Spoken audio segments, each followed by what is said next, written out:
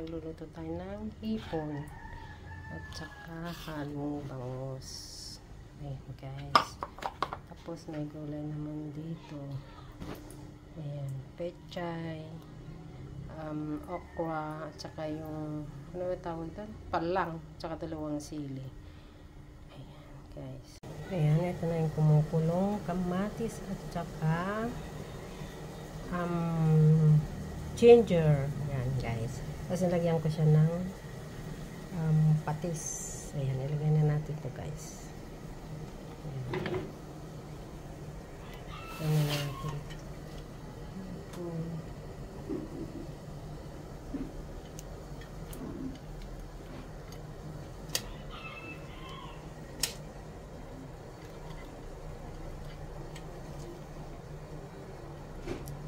Ipon at saka bangus.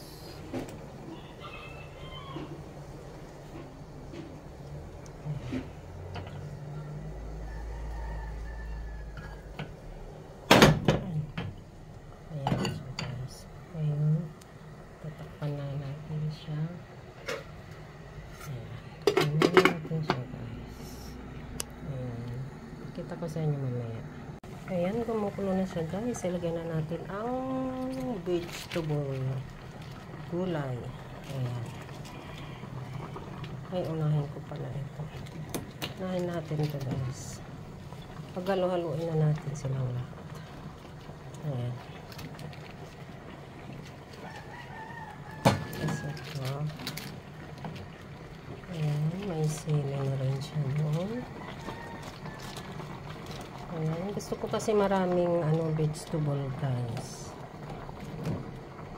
Pag sinigang, gusto ko maraming vegetable. Ayan. Yes. Ayan.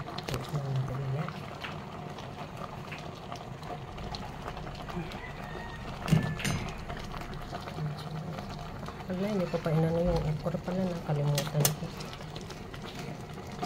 Ayan. Lutuin muna natin siya ng around 20 minutes, guys. Ayan. Ayan, 20 minutes.